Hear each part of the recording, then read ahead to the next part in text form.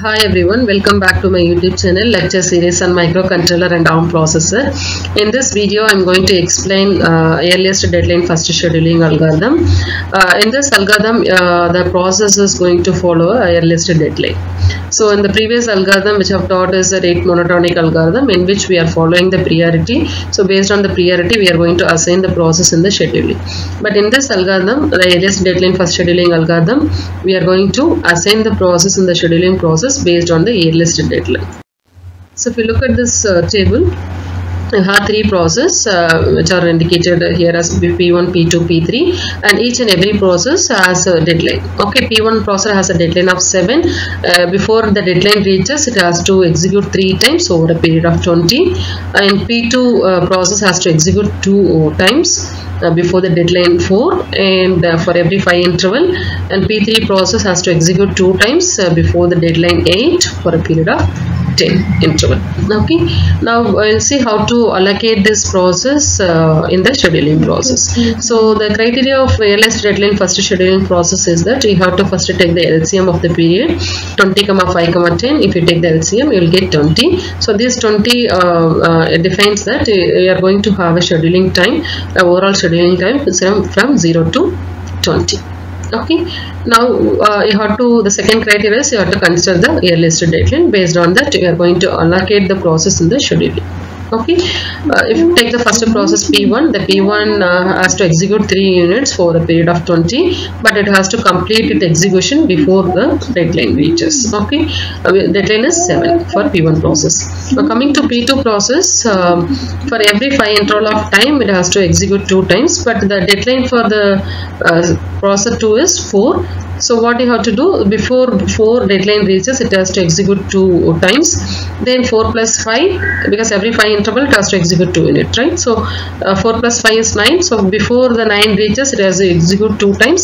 Then uh, before uh, 9 plus 5 is 14 so before 14 reaches it has to execute 2 times. Then 14 plus 19 14 plus 5 is 19 so it has to execute 2 units before uh, 19 reaches before the deadline reaches. Okay that is for p2 process. Now move on to p3 process. The p3 process has to execute uh, two times before the deadline reaches. So the deadline for p3 process is 8 so before 8 it has to execute two times. And uh, 8 plus 10 because for every 10 interval of time it has to execute two times. Okay? So 8 plus 10 is 18 so before 18 reaches it has to execute two times okay now we'll see how to allocate the process in the scheduling.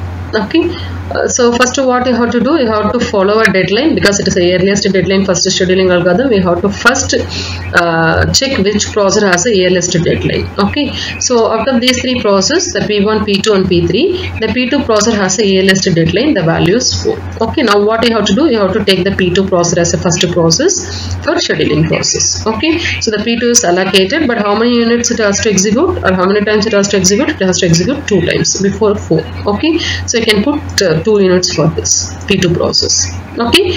Now uh, next you have to check which processor has the earliest deadline so here the process uh, p1 and p3 we have. So p1 processor has 7 uh, value earliest value and p3 processor has a 8 as a value. Okay? So we can see which one has the earliest deadline it is a p1 process.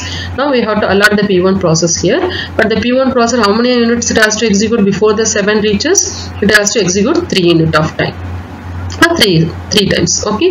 So i'm just assigning the p1 three times here p1 p1 and p1 three units it has to uh, execute before the deadline 7 reaches okay? Now after that you can check which process has a earliest deadline. So we have only two process because the p1 execution is over now. Now we can uh, look at the Gantt chart. After the p1 process executed three times this will not uh, take a part in the scheduling process hereafter okay? Because the p1 execution is completed okay? Now we uh, now we can see uh, the which processor has a earliest deadline. We have p2 and p3 process. The p3 process the deadline value is 8 okay? And p2 process has a deadline of 9 so the earliest deadline is p3 process okay? Uh, so how many units it has to execute before 8 reaches it has to execute uh, 2 units of time. So i'm assigning p3 process 2 times okay. Next you can check which processor has a earliest deadline. So here i'm going to check the next process a p2 process. Okay. So the p2 processor has a deadline of 9 okay. I'm, uh, how many it has to execute? It has to execute a 2 unit before the deadline reaches. Okay. So i'm assigning p2 process two times before the 9 comes. Okay. Before the deadline okay? So after that what you have to do you have to check for p1 process. The p1 process execution is already over so you know it will not take a part of uh, uh, scheduling process. Okay? Next uh, you can check which process has a earliest deadline. We have only two options p2 and p3 process. The p1 process already completed its execution so it will not take a part or you cannot uh, you can say you cannot alert this p1 process for further scheduling clear? Now you can see which process has a earliest deadline out of p2 and p3 okay? So here the p2 processor has a deadline value of 14 and before 14 comes it has to execute two times okay? So you can assign p2 process for two units okay? Then you can check uh, the uh, next process which has a earliest deadline.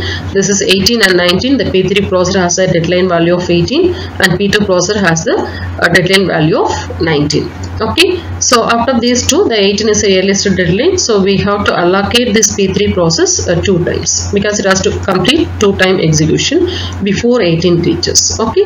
So here you can have p3 process allocation is 2 unit and uh, after that you can check only one process is left out that is p2 process which has a deadline of 19 okay? So before uh, 19 comes before deadline reaches it has to execute 2 unit of time. Okay? Or two times it has to complete its execution. So now we can assign again p2 two times and you can complete the scheduling process. Okay? So in earliest deadline first scheduling algorithm uh, the processor is allocated in the scheduling process based on the earliest deadline. Okay? So this is called the earliest deadline first scheduling algorithm and thank you for watching